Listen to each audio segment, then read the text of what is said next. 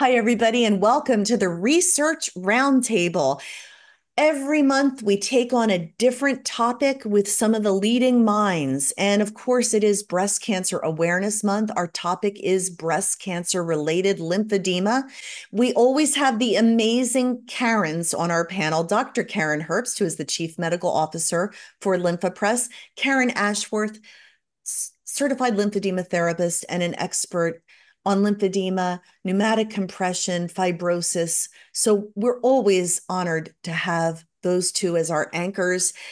Our special firepower tonight comes from two folks that basically left the NLN conference and ended up logging on to be with us tonight. And we're so grateful. We have a clinician and a patient perspective, both coming to us from Missy Baylor. Missy is the CEO and owner of Lymphatic Solutions. She's a well respected clinician. Missy, we're so glad to have you here with us tonight. Thank you. And Lesli Bell, who is one of the experts when it comes to breast cancer related lymphedema, also flew in to be with us tonight. We know that you are going to have many questions and we will navigate those. Please put them in the Q&A. Let us know you're here in chat. And without further ado, I'm going to yield to Dr. Karen Herbst to get things started.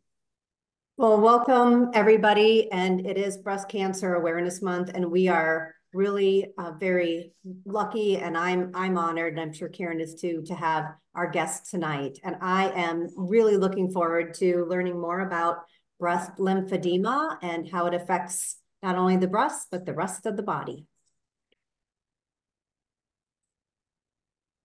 So I don't know if you want to just begin with going through some of your slides, Lesli. And while you're doing that, Missy, can you just give the audience a little bit of the backstory of how you came to this point in your journey where clinician and then all of a sudden patient?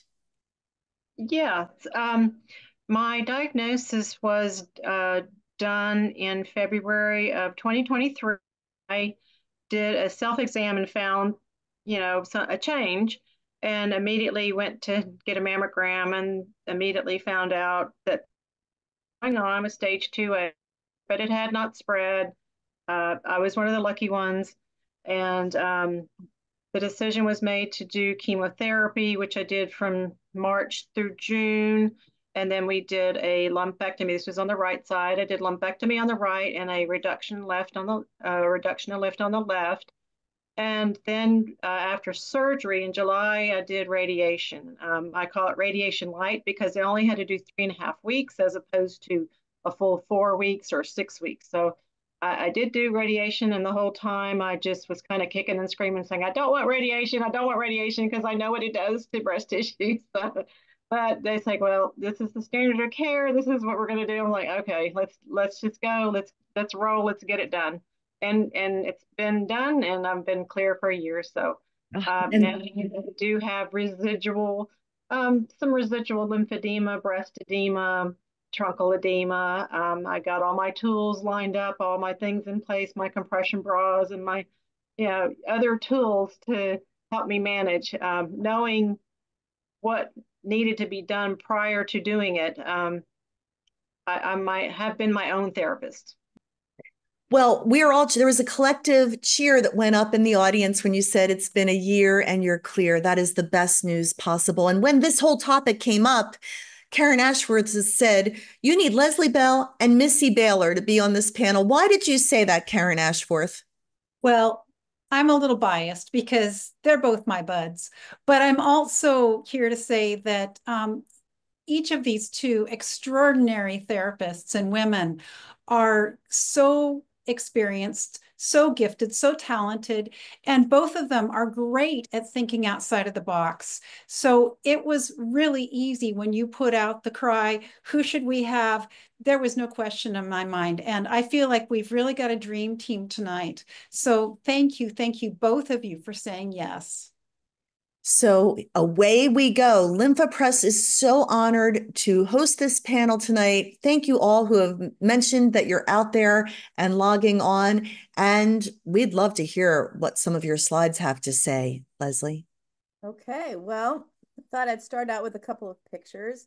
because there's an awful lot of information out there about arm lymphedema. We talk about lymphedema. It's uh, luckily it's being Eh, the, the awareness is increased dramatically, but I think that sometimes patients who are the quote lucky ones that like Missy, they don't even know that they're supposed to look for it. They think that maybe, you know, I had surgery or and or radiation and treatment. And so, you know, this is just what has to happen. And and a lot of women don't complain. I mean, the the average time that it takes for a woman to complain about a medical problem is actually quite a bit longer than a men than men most of the time. So anyways, but I just wanted to show a couple of pictures to start out with. And you can see that picture um, up on the left side of your screen. And you can see those those dents, those um, linear dents going down the breast. You can also see the misshapen breast right there. And, you know, when they take out a lump and, um, or, or even sometimes it's a partial mastectomy, the tissue or the breast should be actually smaller. And so if it's actually larger than it was before, then that's a first clue.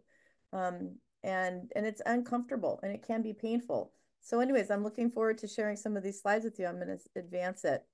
So like I said, arm lymphedema is obvious, but sometimes the total picture is debilitating. And so sometimes under the patient's clothes, there's some real changes that have happened to their tissues and their skin. And some people get breast and chest wall lymphedema and or scarring and fibrosis and arm lymphedema, and that's really an unfortunate trifecta. So we need to remember that when the sentinel nodes are removed, um, or the nodes are removed if they need to take more than just the sentinel nodes, that that is dramatically affecting the drainage from the breast tissue. So I call it the pink elephant in the room. There's just a real disparity in recognition in terms of you know what patients are experiencing and when they discuss it and um, maybe even what their doctors are asking them because truly physicians don't like to talk about too many um, complications until it's a complication so i know that you know around the country you know the information that might be given to patients preoperatively is not always as maybe comprehensive as some of us lymphedema therapists and granted you know we are preaching to our choir you know think it should be and so some of these patients don't know to actually discuss it with their doctors. So, you know, I would like everybody to understand during Breast Cancer Awareness Month that, um, you know, breast and chest wall edema is probably as prevalent, maybe even a little more prevalent than arm edema is at this point in time. You know, everybody that has uh, any treatment to their chest wall, whether it's surgery or radiation, is going to have post-treatment effects. That doesn't necessarily mean it's lymphedema, but if it persists, if it's painful, um, or it doesn't go away in a in a, some you know reasonable amount of time, then it might be starting to get congested in the chest wall. And the sooner we are able to get that congestion better or move it out of those lymphatic vessels, um, the better chances our patients have of maybe not having a continued problem. So um, we're hoping that this is going to help people um, understand it and raise some awareness. So when we do these sentinel node biopsies, I mean, they do a very good job at trying to put the dye in and then they follow that dye and they try to not take extra lymph nodes. But even sometimes those, the lymph nodes that are associated with the sentinel node biopsy, they can actually impede lymphatic flow from that area of the breast. So, and the breast actually drains in a couple of ways. It can drain over to the sternal nodes and it drains up into the axilla. So, when the axilla is affected by the surgery, um, that can change the way that the breasts actually drain. So, as I call it, the luck, the lucky ones, um, you know, patients that are lucky enough to keep their breast or lucky enough to have minimal maybe minimal uh, treatment for their breast cancer, they may not complain. They just may really feel very fortunate that they're here and that they're not having to do more aggressive treatment. But that doesn't mean that they don't deserve care. And when they start getting some breast swelling, they may not know that there are treatments for that, that they can, that there are compression, compression bras that are made specifically for patients with breast edema. And those aren't necessarily in a department store. So they may not know that they can go to a medical supply store of some sort and look at some of the different options that are available to these patients. So um, I just want everybody to know that whether you're a lucky one or maybe someone who had to have more aggressive treatment, that there is there is care. And i think it's very reasonable to establish a relationship with a lymphedema therapist very early on. You know in, a, in the best possible scenario we would have preoperative assessments of these patients or prospective surveillance we call it. And that gives us the option to take preoperative measurements um, to educate the patient a little bit so that then they know when it's time to come and talk to either their doctor or their or the, lymphedema therapist if they can establish a relationship. And the other thing is the therapist is not just going to help them with lymphatic issues. We're going to help them with range of motion and strength. And you know there are certain things that get affected during these treatments. So you know one of them is that there's a nerve that goes down the back of our shoulder underneath our shoulder blade that can sometimes get affected in terms of um, how it how it sends information. It can be a little sluggish. And sometimes our rotator cuff um, can get affected. It's not damaged, but it can get affected and it can increase in um, weakness in the shoulder. And so there's a high incidence of shoulder dysfunction three years out of uh, breast cancer treatment, um, having to partly do with that, or maybe partly to do with any kind of scar tissue that might be present that's limiting the motion.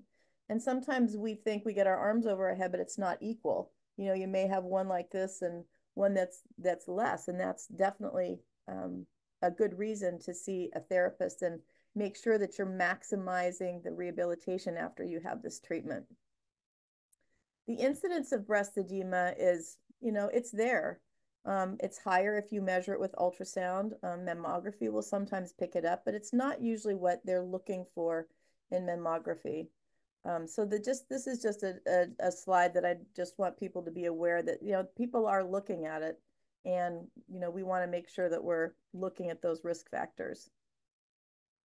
So here's another problem that happens with it. Um, you can get something called peau orange, and it comes from looking that name comes from actually looking at an, an orange peel where you see those little um, dots on the orange peel, but it happens because of the inversion of the hair follicles on the breast and that is when the breast starts to swell, um, that that hair follicle will invert a little bit, and you'll get a puffiness around that follicle. And so that's kind of what it looks like right there. And you can see the the picture on the left side of your screen. You can just look at that breast and see that it's larger and more heavy than um, obviously the other side. Now, true, we do not have girls that are all exactly the same prior to. So having an awareness of the size of your breasts and the textures of your breasts before treatment is something to maybe take into account. But they still wouldn't look like this pre-operatively. So peau orange is something that we look for. Uh, and despite the good aesthetic results that patients often get, there's still, uh, you know, an incidence of breast edema up to five years following surgery. And it can be pretty high. And it might be mild. It might be mild or it could be severe but it's it's it's definitely there. I mean, talking to one very well-known um, surgeon, uh, I asked him how many of his patients get breast edema, and he said, "Oh, all of them." And it is true. So, following surgery, every surgical, um, every surgical operation has edema afterwards, and so we want to make sure that it doesn't linger for a long time. There's really no correlation with um, the level of node dissection, meaning whether it was in the axilla, up towards the neck, underneath the clavicle, the bra cup size, or the tumor location. Um, but it does have something to do with body mass index. So sometimes if we are a little heavier, that increases the risk of um, breast lymphedema. And, and, and maybe a little bit with chemo treatments and hormonal treatments. But again, that just also might indicate that the that the cancer may have been a little more advanced and so they needed a little more therapy. So that might increase the risk as well. I have uh, something to say about that anti hormone therapy. I had a patient who had breast cancer, had a lumpectomy, and the didn't have any um, real issues with breast swelling, but she got swelling in her legs. And so we just increased her manual lymphatic drainage therapy. She was on tamoxifen and um, just she was a little bit more aggressive with exercise, compression, and then the MLD, and um, eventually got off the hormone, anti-hormone therapy and um, did very well and then could kind of back down off of being aggressive. So I think, um, it, I don't think a lot of providers know that anti-hormone therapy can lead to the development of edema. And it can lead to, in my opinion, it can lead to edema in any part of the body, even outside the breast. That's true. And certain forms of chemotherapy, particularly the taxane based chemotherapies, can um, create uh, lymphedema in the legs as well as the arms. So that's not a hugely well known fact. Yeah.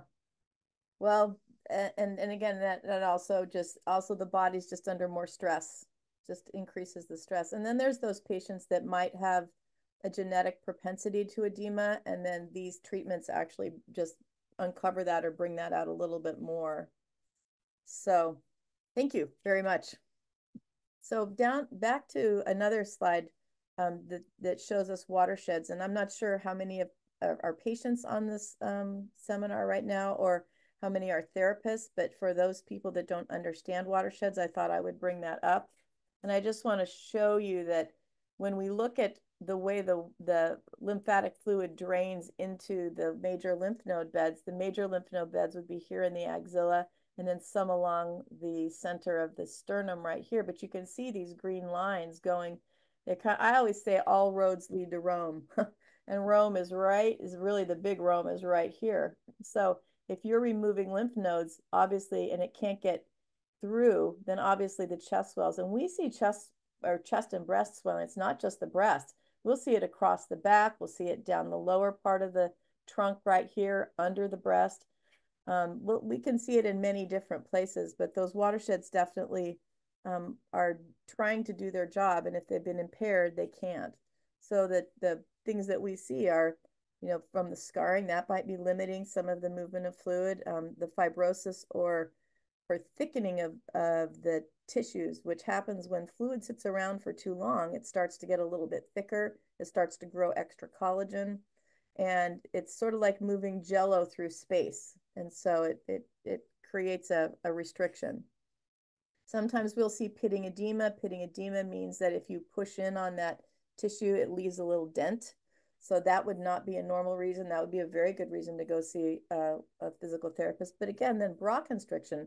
You know, sometimes people's bras don't fit the same following breast cancer treatment, and it might be too tight. I mean, I've had some patients who come in in a bra that they probably had since high school, and um, there's some pretty significant dents that are already there. I mean, have you ever seen patients with a dent up here in their upper trapezius? Mm-hmm. You know, mm-hmm. that just that pre-existing dent or scarring that um, may be present may also contribute to the limitation of fluid motion.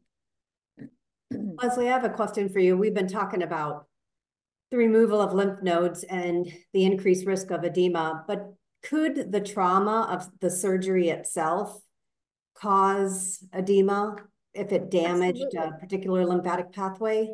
Absolutely, and that's what I mean. A hundred percent of these patients are going to come out of treatment with swelling. If they had surgery, they're going to come out with swelling. But if you had your ankle had surgery, it would have swelling. If you have your knee, you know, surgerized, it'll have swelling. So that's what I mean.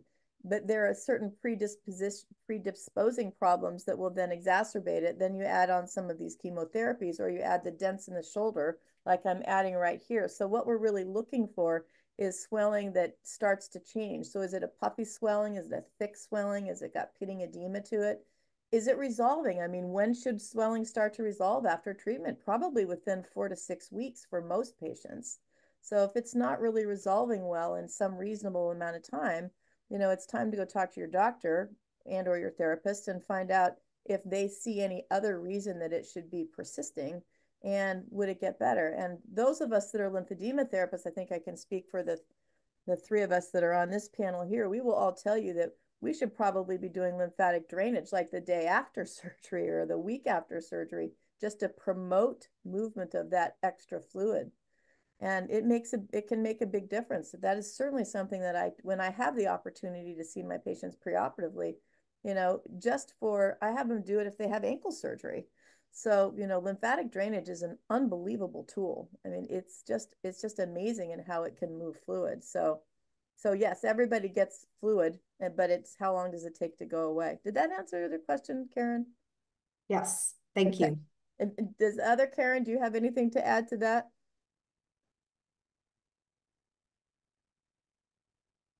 Sorry, I was muted. Um, no, I think you said it all. I, I, I love, love, love your illustrations. I think that, um, you know, a picture says a thousand words and you have a gift for finding great images that really convey what we need to know.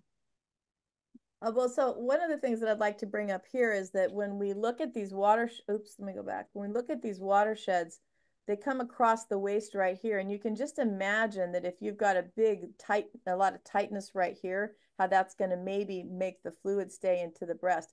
The other thing to consider is that a breast is a pendulous sac of adipose tissue and glandular tissue that does not have a pump in it. So when we look at a leg that has has surgery or an arm that has surgery, there's a muscle pump surrounding that joint that helps that fluid to move out. In the case of a breast, we do not have a muscle pump there. And so the more pendulous the breast, which may have, you know, that correlates with um, increased BMI, but the more pendulous that breast is, the more it's going to maintain that fluid unless we lift it up, which is why a compression bra, and I developed the, com the Bellisse compression bra mm, probably 22 years ago now, because really what needs to happen is that breast needs to be lifted and, and compressed not squished, but it needs to be held in place so that the fluid can drain off the sides of the chest wall and you don't, you're reducing the amount of pendulous tissue that's coming down. And I think that's how we get to um, reduce the fluid um, from building up in that area. Lesli, I don't want to get you off topic too much, but we did have a question from the audience. Sandra Willis is struggling with treating male breast cancer patients. Any suggestions for male friendly compression that really addresses the scar lines?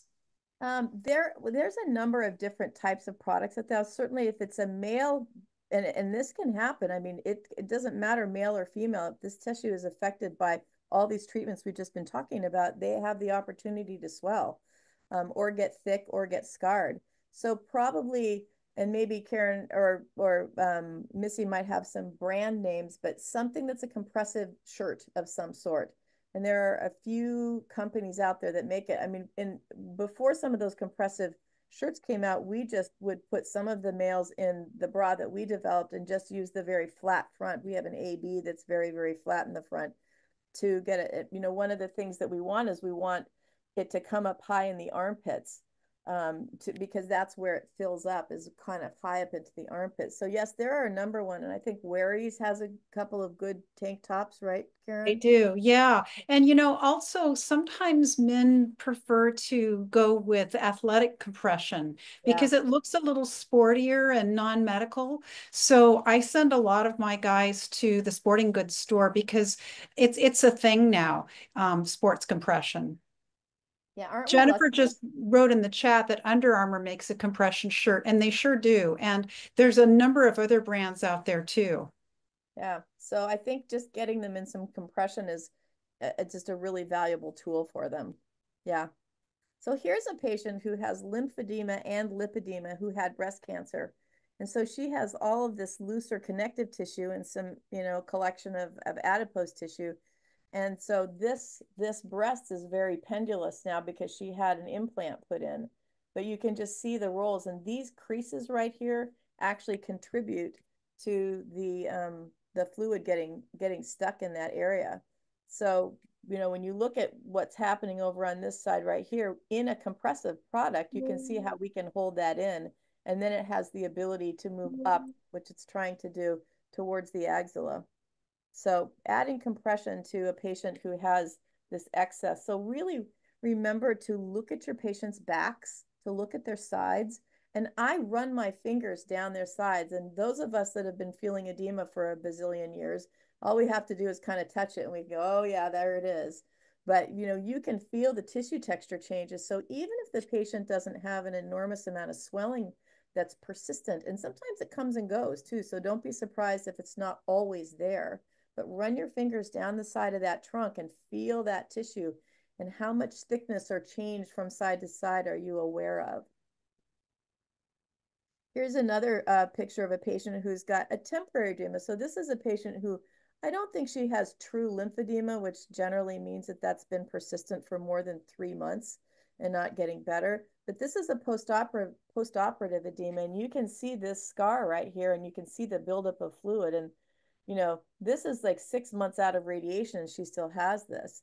Um, her her breast is a little bit heavier and a little bit bigger, but you know, we treated her, got her better, and time helps too. So it's not to say that time doesn't always heal things as well. But we were able to, with a number of the types of treatments that we do, I use lasers, I use um, negative pressure, I use myofascial techniques, I use tape. I mean, I know that my colleagues also use that stuff. Um, that loosened up this scar because at six months later, you can see that was still harboring fluid retention right here. And look how much better she looks with treatment. And the breast is still a little bit swollen, but it's not firm and she doesn't have that hump on the top there. And none of these treatments stand alone. I mean, the one thing that we have as, as uh, therapists who treat this stuff is a lot of tools on our box. And I always say we have exceptionally high upsides and very low downsides. So the good news is you can try it.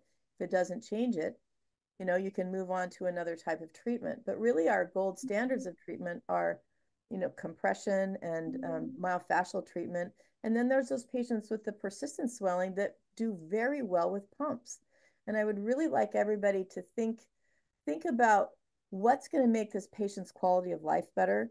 You know, if they're really struggling with persistent chest wall edema and persistent arm edema, and they would they would their life would be easier if they had a compression pump to help them move that out on a regular basis you know, I really believe that we need to be thinking about that for our patients. What's going to make their life better? Lesli, can I ask you, sometimes um, my patients say, well, how do I find a therapist who does anti-fibrotic treatment? How do you find a therapist who does that? Oh, that is a golden question. Um, you know, I I mean, we don't, we have a little stamp on our forehead right here. So if we walk down the street, you'll recognize us really easily. No, um, I think that, um, I, I think probably for the people that you would want to find someone who's doing some continuing education because I think that a lot of the anti-fibrotic treatments that we, myself, Karen, and Missy do um, are probably learned after our primary education for lymphedema treatment. So you would want to kind of ask around maybe and find a more experienced therapist. I think that would be great. Um, but no, there isn't necessarily a, a, a, degree or you know certification for the antifibrotic stuff. It's really got to be a therapist who's inquisitive and creative and you know sees the value in in lots of different um, modalities to help patients. This last um, this conference that I was just at with Missy just last this last yesterday actually this last weekend um, was really all around the use of modalities and how modalities can enhance um, our treatment techniques and our long-term outcomes and our patients' ability to self-manage. So I'm super excited because there hasn't been too many uh, pro uh, programs or seminars focused on the use of modalities. So um, there was one, we had a hundred people there. So now there's a hundred more therapists with a little stamp on their forehead that Yay. says they're, they're they've got I also want to address that question too, because uh, I just recently gave a talk to for a local health fair with our, our DME in this area for patients and therapists on, on and especially geared for patients on how to find a qualified therapist and questions to ask uh, a therapist when you do, you know, like resources, online resources to find therapists who have the appropriate training and, and the type of questions to ask them. And one of them is to ask them, you know, how much, what kind of continuing education have you done? Do you attend conferences? Do you do, you know, continuing education? Are you using, you know, they just, they have to learn the questions to ask, which I know they don't know the questions to ask unless somebody tells them what questions to ask. So it, it's it's kind of a chicken and egg thing. It's like, okay, what how do they find a therapist? But then how do they know what questions to ask when they find the therapist? So that's a really good point. Maybe we should maybe we should write a piece write that up and put it on the website. That might be a reasonable thing to contribute. That'd be awesome. Yeah. And you know, sometimes you have to think outside the box because as Lesli mentioned, this is these are advanced skills.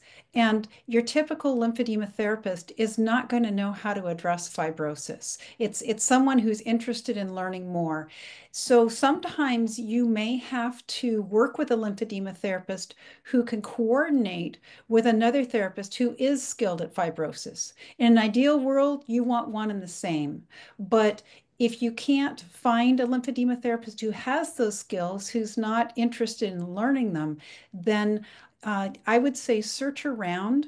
And it's most likely going to be a physical therapist, although there are occupational therapists like myself out there who do, you know, treat with modalities. But uh, I would surf the internet and look for practices that advertise that they work with scar tissue or post surgery and then make sure that the two therapists talk to each other because a general physical therapist who doesn't know a thing about lymphedema might be great at scars, but they need to know some of the lymphedema precautions, hmm. you know, hmm. particularly things like the use of heat um, and so on. So that's just a suggestion because not every community is going to have one therapist who does it all. There was a lot of chat about this very topic and a real hunger for more training. And I think that is something underscored here that is a great jumping off point for further action. We did have one question from an anonymous attendee. What do you think of radio frequency ablation? I don't think we use that with lymphedema. We use that, isn't that, I think we use that mostly for pain control for um, but I don't, I, I use rate, I use laser, which is different than radio frequency ablation. So I'm not sure, Karen, do you want to address that at all? I don't, I don't use radio frequency. I don't. Yeah, that's a medical technique. It's used in yeah. cardiology and vascular surgeons, but um, uh, not really used in clinical lymphedema practice. Yeah. Thank yeah, you. We, but we do use light therapy. We use cold laser is what I use. And I know Karen uses it and Missy uses it too we use different um, wavelengths of laser to create um, cellular changes. So if I had a perfect world, I would get to see all my patients prior to them having um, their breast cancer treatment. And I think if we were able to anticipate that there's going to be some edema, now notice I didn't write lymphedema yet, anticipate that there's some going to be some edema, some uh, maybe a little fibrosis and some scarring post-op because this is what happens post-operatively. You know, and if we were able to teach them uh, some self-manual lymphatic drainage, which I know all of us lymphedema therapists love to do, and help them start redirecting the areas that are um, pooling or filling up because of changes in their um, anatomy or the lymphatic vessel structure, that would be awesome because these some of these changes, especially the radiation changes, as Missy um, commented on earlier, they can make changes for they say 12 to 18 months, but all of us can probably tell you it's like up to three years and maybe a little beyond. So those changes can be present, and if we could assist that movement of fluid out, it would be awesome. Um, we use different things like like I said before, compression. We use chipped pads. We do chipped foam pads of different shapes and sizes to um, help um, mo modulate or move fluid out of the area. Um, and it may not even be that they need it all the time. Maybe it happens after they clean their basement the first time after they've been had their treatment. But the big thing is that that I think that people need to understand is that it's it's pretty out there that lymphedema doesn't hurt, but I can tell you when it's in the chest wall and the breast, it hurts. And so when I came up with the tagline for my company many years ago, they were saying, you need a tagline. And I said, I don't know what a tagline is because I'm not in marketing. And I said, all I can tell you is that a hug should never hurt because that is the thing that I would hear from my patients. You know, the first patient that really stimulated my extreme interest in this area was a fifth grade teacher. And that fifth grade teacher had all these kids that would run to her, you know, up to her and give her big hugs. And it got to the point that her chest was hurting so bad that she couldn't she couldn't handle these hugs. You know, her husband would kind of dance around it and try to hug one side or the other side. But truly, when you have that chest wall full and painful, a hug should never hurt. It should never hurt anybody, but it should specifically never hurt a breast cancer patient because everybody needs a hug, especially anybody that's been through can- cancer. So, you know, those are just some things to consider. So, in, in a perfect world, but that doesn't mean that we can't treat it afterwards, after the fact. but in my in my um, perfect world, that's what where it would be. Karen, do you have any more perfection you'd like to add to that, or Missy? Well, I I just recently realized that I have the, and I know this term has been around for a while, and I mentioned this to you at the conference about the post mastectomy pain syndrome. Mm-hmm. And I had never really stopped to consider that. And now it's like, okay, now I'm having pain in this breast. And it's like, what, you know, what's the process? What's going on? And I, I contributed to the radiation changes. But, you know, it's it's not something I was expecting, but it's there and now it's something I have to treat. So I don't know if Karen has something she want to add on that. You know, I think that's so true, Missy. And I also think that um, pain can, and swelling for that matter, can be present because of many different factors. And radiation is certainly a big one. Um, you know, chemo, again, can cause um, swelling in the breast and pain, you know, residually. There can be um, nerve injury with surgery or even nerve compression from swelling. And uh, the scar tissue can also affect the nerve and create traction that creates pain. So part of it, I think, is just trying to figure out, okay, well, what, what is the root of this pain? And what can we do physically to change the body so that we can maybe eradicate um, the root cause? Very good. Thank you. Is that like a chronic regional pain syndrome? Is that in the same kind of family? That kind no. of no? No, the um, chronic regional pain syndrome is really different from any type of post mastectomy um, uh, pain because uh, CRPS is um, it's still a little bit um, mystical and unknown. And uh, I mean, there's many things that can bring that on, but uh, in, in both the upper and the lower body for that matter. But um, that seems to be more um, nerve related than um, uh, I would say that there's more than just nerves involved when we're dealing with um, post mastectomy pain. I Wouldn't have a CRPS patient uh, that I just that I've been treating for the last two years with significant CRPS, and she didn't even have radiation, and she had a mastectomy and no other treatment except a mastectomy, and she had tremendous pain, and um, she couldn't tolerate a, a bra or a prosthesis. She can barely tolerate a T-shirt, and so the thing that I used for that patient was um, I used a lot of um, elastic taping in the area and then I did dry needling into her scar areas, and her pain is like 90% better. Wow. And laser. And I use laser too. But her pain is like 90% better. And so she'll come in every, now she only comes in every maybe six months or so. And she'll come in and she, she, she kind of measures how her CRPS is doing because CRPS doesn't always just eh, go away. Sometimes it just rears its little head now and then.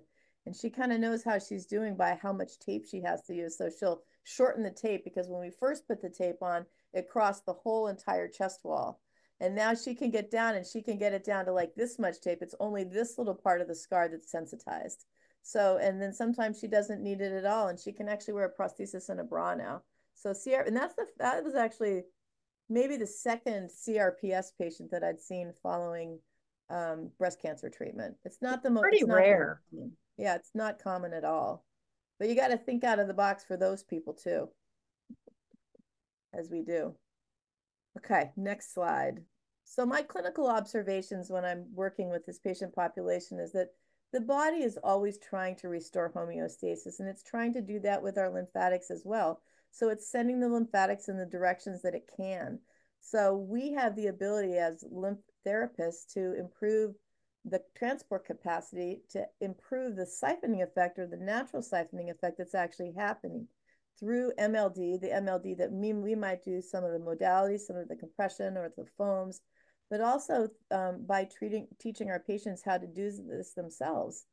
And that's, that's a really exciting opportunity. I've had patients that we were waiting to get compression for the upper extremity, teaching them self-lymphatic drainage. And between what I did and they did, their arm went down an inch you know, in girth just with using self MLD. My daughter just broke her hand. She was on a scooter going to the bowling alley and she she's in Boston and she flipped over on the sidewalk and her hand swelled up like crazy. And so I said, you got to start doing MLD.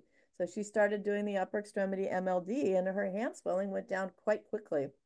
So we have this incredible opportunity to change swelling or, or to enhance what our body is naturally trying to do. So that's why those patients who can participate in their self-care, they do get better control and they feel better about themselves to have something that they can do.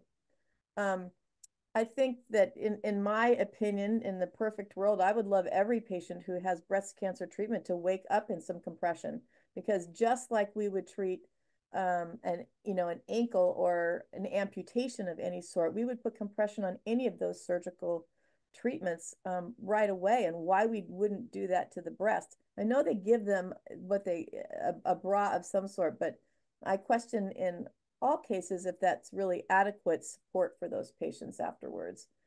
Um, so I would love them to come out with a good compressive bra that they could actually use on and off for the first year. Um, and I, I think that maybe that would reduce the amount of chronic, that's, you know, my opinion, of course, of chronic edema that these patients have. But giving those patients control is extremely empowering for them one of our audience members is clamoring for a book. Do you have a book, Lesli? How many times I've been asked to write a book? Yeah. No, I haven't written a book. I don't know. Karen and, and Missy, how, should we write a book? What do you think? Maybe a blog. It would have to be updated every week because I'm always adding new stuff. In our spare time, we need to write a book. Yeah yeah yeah we need to write a book but you know again you know participating in these continuing education processes like the nln or even a, a number of the companies out there whether it's LymphaPress or some of the other companies they are i am so grateful to partnership with these companies because they provide the education that we need and and and having the opportunity to be an educator with some of these different companies they're not telling me what to say you know they're asking me to help people understand the value of what we do, the new techniques that we use, and then maybe how whatever product they have filters into the total treatment plan of that. And so I am so grateful to LymphaPress to be taking the amount of time and energy to put these monthly um, seminars together for people. So this, and maybe you'll learn a pearl here, and then I'll get an email from you and it'll say, Hey, Lesli, I need more information, or Missy, I want to know about this, or Karen, you're in my area. Can you have lunch? You know, so truly, those of us that are out there in the world treating, um, we love to talk about it. Love it, love it, love it. So, you know, look for those pearls and then look for the experts in that area and contact them because maybe we know of a, maybe I'm speaking at another seminar sometime soon, and, and that would be something that you could go to. Um, I think that's probably one of our biggest challenges. And for some of the other seminars that are out there, you know, um, lymphedema seminars is a wonderful programming. It does great um, um, education. I I teach for them. I know Missy's taught for them, and Karen teaches for them too. And we're all they're asking us to constantly come up with new and innovative things. So lymphedema seminars would be something to look into and see. Uh, they're doing some Zoom ones in the future some of the different schools, they have some advanced um, trainings that are out there. So you kind of have to dig around a little bit or call somebody who knows somebody who might know of something that's going on. I think that's the best thing to do. And then, you know, and then Karen and Missy and I will all go to a beach somewhere. We'll write a book soon. Well, if you're going to the beach, you need to bring me as well. Well, someone's got to someone's got to help us with the wording, so we need to take our marketing person with us. So so Perfect. Anyway, and people are responding in the chat with lymph seminars and how you can connect with that. Really great information. I know also that we are going to be losing you a few minutes before the top of the hour, Lesli. So please take your slides and bring us home. Okay. Well, I don't have too much more to offer. I, I have to leave early because I'm doing another webinar at nine o'clock for a laser company for some therapists in Portland, Oregon. So that's why I'm, that's the only reason I'm having to leave a few minutes early. But um, I just was going to leave you with the last couple of slides here, which are just to remember that, you know, none of this lymphedema treatment stands alone. This does not negate the, the normal rehabilitation that we as therapists know that every patient needs after surgery. And that could be exercise, it can be strengthening. Remember, all those patients come to us with some something premorbid. I mean, there's none of us are perfect even before we have treatment. You know, some of us um, have a swelling. There's actually a genetic component to people that are swellers out there. So sometimes we don't even know that we're a sweller until something happens and and that it, it initiates that for us. So, you know, actually these are just some just a little smattering of some of the exercises that are good for patients, but I have um, a number of exercises that I love for patients that are great.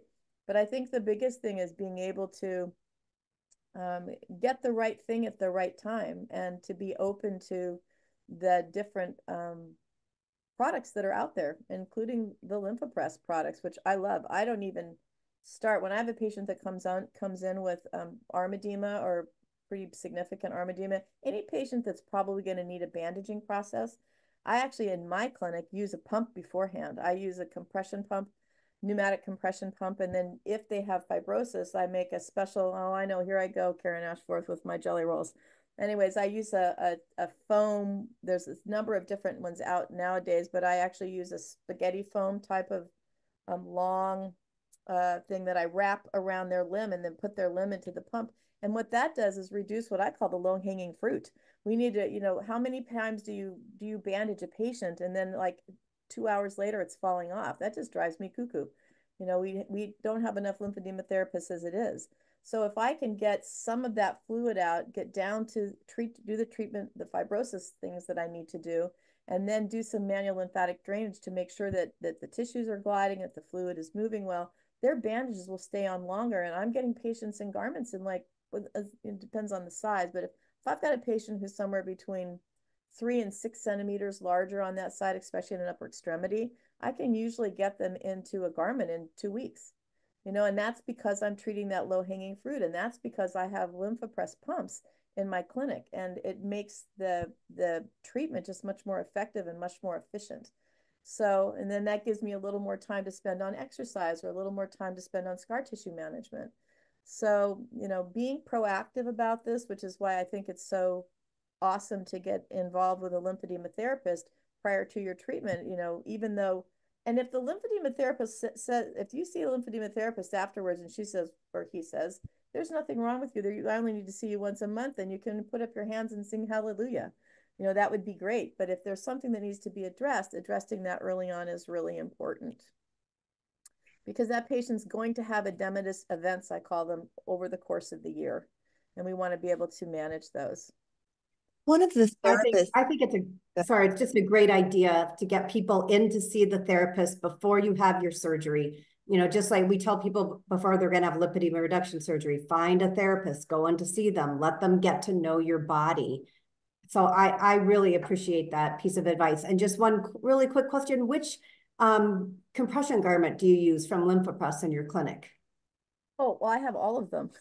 I'm just I use the I use the com sometimes I just use the sleeve. If there's really no trunk part, I'll just use the sleeve. But I like okay. the comfy sleeve and jacket. If I if they have a trunk component, I I use that. Um, so for that's for the upper extremities, but I have the pants and I have the um the bod pod and I have single leg things. And so I sort of I have a whole rack of stuff that I can kind of choose from. But I for I would say 99% of the time I don't even start a bandaging process without doing some sort of pneumatic compression. And here's the thing, the patients love it. And how many of them go on to have to need a compression pump afterwards?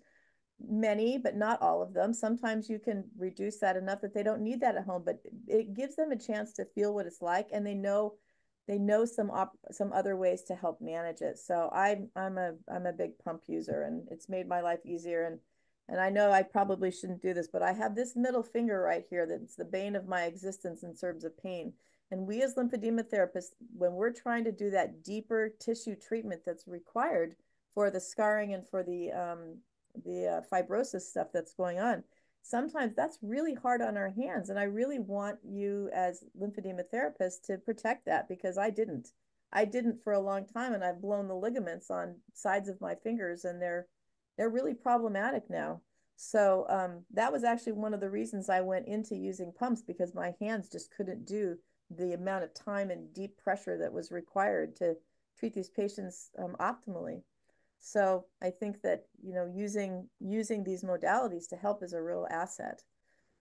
So I love that you said that. Lesli Bell, thank you. That is golden and so important. We love working with lymphedema therapists so that patients can continue your hands on work in the comfort of their home and keep progress moving forward and saving your hands too. So that is awesome.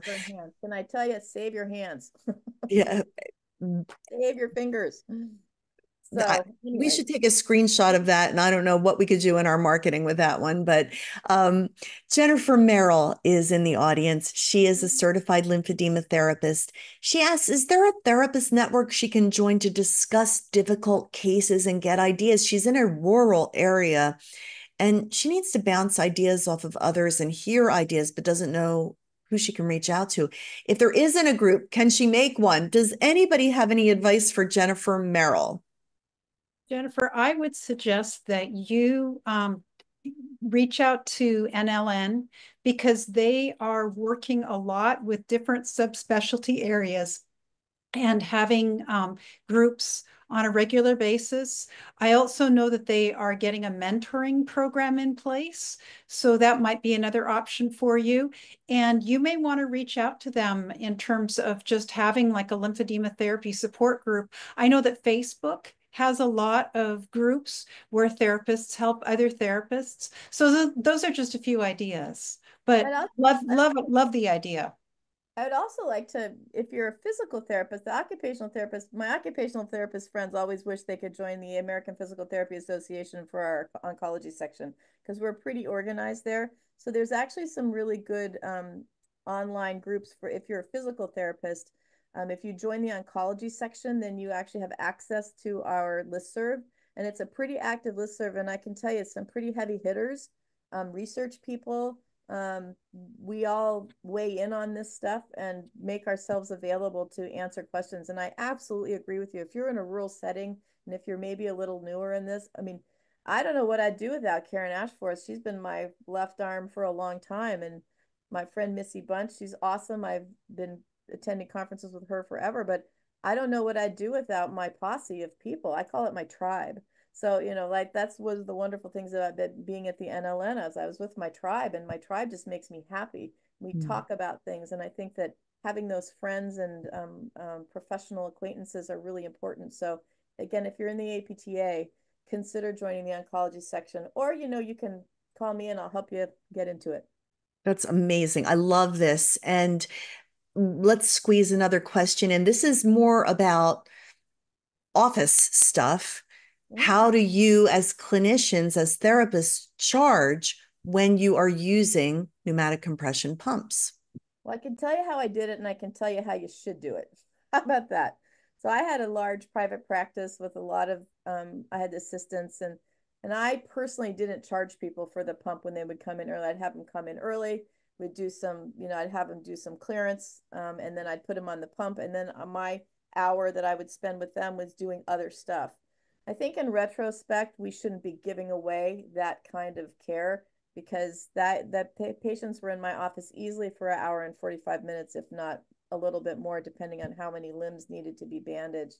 So in in hindsight, I would probably be charging patients if they wanted to use a pump because pumps aren't free and your expertise in terms of what they need and how they need it is also not free. Um, but on the other hand, it also reduces the amount of time that you you have them in the clinic, and it reduces your time and frustration as a therapist immensely. So I don't know. I don't know what the right answer is there. Um, I, for years and years and years, just added it into my treatment, and I had extra space, so I did it. But I don't think I don't in retrospect it shouldn't be free, but I would treat them they'd be in my office for an hour and 45 minutes, probably at minimum. There is a CPT code um, 97016, which is vasopneumatic treatment. Um, the only thing is, is that you cannot use that code if you have a complimentary pump that is on loan from a vendor. So you would need to actually own the pump. What I do though is I don't use that code. I usually um, if I'm doing a, a, pump session with a patient, it's usually because I want to see what are the effects on this patient and is this a potential treatment for them at home? I'm yeah. titrating the pressure to see, okay, what's the right dosage that they need? What are the right settings for them? And I'm talking them through the whole thing. So it actually becomes self-care and education. So I will charge for those codes. Another thing you can do, which a lot of therapists do, is they maximize their hands by using the pump on one part of the body while doing treatment on the other. So you can be doing MLD on one leg, using the pump on the other side. Um, you know, likewise with the upper body. So there's all sorts of creative ways to to make it work where it's fair all around. Yeah, and if and and remember that education part is the billable code, and it's it's and we're educating them anyways we're always educating our patients. We don't have enough time with them to educate them fully. So, you know, you you can do two things at the same time. The other thing to maybe consider is that using a pump may not be considered skilled therapy. So that's why we have to use it in conjunction with something else that we are doing that's considered to be skilled therapy that does have a code. I know there is a code for reimbursement for a compression pump. I think it's a very, very low reimbursement rate from what I recall. I haven't been in the in the clinic setting in the hospital for a while, but um, I use I do the same thing as as Lesli and Karen. I use it in conjunction while I'm doing the other limb, uh, you know, and switch it back and forth um, to like it's like having an extra pair of hands to to get the work done more quickly, more efficiently. Yeah, so, those are good questions. We are four minutes before the top of the hour. Shall I just say, let's do some closing remarks here. Okay. That way we can make sure everybody gets to their next appointments. And we want to thank the audience. You've been amazing tonight in chat. We love your questions. We love that you logged on to the live. This will also be posted on the LymphaPress YouTube channel for future reference. But um, any closing thoughts, Missy, that you would like to leave with the audience tonight? Um, I always encourage therapists and patients to become familiar with products, um, especially therapists to become familiar with all their vendors and the products that they offer so they know what they can uh, help their patients get into for, you know, the, the conditions or the things that they present with. So like if they have truncal edema, you know, what kind of compression broad would be best for that person? If they have, uh, you know, just is it just arm swelling? Is it both? You know, what what kind of tools are they going to need? So it's really important to know where to you need your go-to people and and mm-hmm. people you can contact for the things that you need. That's so important to have those that relationship with vendors and the contacts to, and and the continuing education. Absolutely, Lesli. Any closing words? I know you have to bounce because I've got to go. And I think I think everybody heard all the words that I can think of right now. I think the my final thoughts are just really tailoring the approach as I've got on my last slide here, tailoring our approach to our patients and and understanding what their needs are and then making their life better when they're done with us. So Thank you very much for having me. I Thank you. You made our lives better by being here. And now I'm going to defer to the Karens to close us out. Karen Ashforth. They will come up with awesome words of wisdom. It was really great to see you all tonight. Bye-bye. Bye. Bye. So I'm going to springboard from um, what Lesli just said in terms of just having a really well-stocked toolbox because being able to offer your patient the right tool for the job. And as Missy said, understanding what tools are out there, knowing your vendors, asking for samples, asking for information and education so that you can really give your patients the best tailored care. Because as lymphedema therapists, we don't do cookie cutter treatment. And fibrosis is definitely something that is very individual. So the, the more you can learn, the more powerful you are going to be able to help your patients. Beautifully said. Dr. Herbst, bring us home. well, I want to springboard off of off of everybody. Um, but I think one of the things that I took home tonight is that it's really important to do your research and find a good therapist in your area that has multiple tools in their toolbox that they can use. um, especially anti-fibrotic therapy. And I, I will encourage all the physical therapists, occupational therapists, massage therapists in the audience to do more CMEs and learn more and get more tools because in lymphatic disease, we know there's a lot of inflammation and there's a lot of fibrosis. And you can't just treat, you can't just move lymph. You also have to work on fibrosis, and fibrosis can occur very deeply. I've I've learned a lot tonight. It was such a great time, and I want to thank um, both of our guests, even though we just lost one. But thank you, Missy. Awesome. Thank you all for tuning in to this live edition of the Research Roundtable. We will be back next month. Many of you treat veteran patients, they have particular challenges. We are going to talk about solutions physical and mentally, and in every way, how you can better care for veteran patients. Uh, oftentimes, they end up in your clinic. Maybe they're not at the CBOC or the VA hospital. We're going to talk about peripheral arterial disease. We're going to talk about lymphedema. We're going to talk about how LymphaPress can help you and partner with you. So it's Veterans Month next month at the Research Roundtable. Veteran patients, we'd love to have you log on as well. With that, have a wonderful night, everyone. And again, thanks for being here. We appreciate you all so much. See you soon.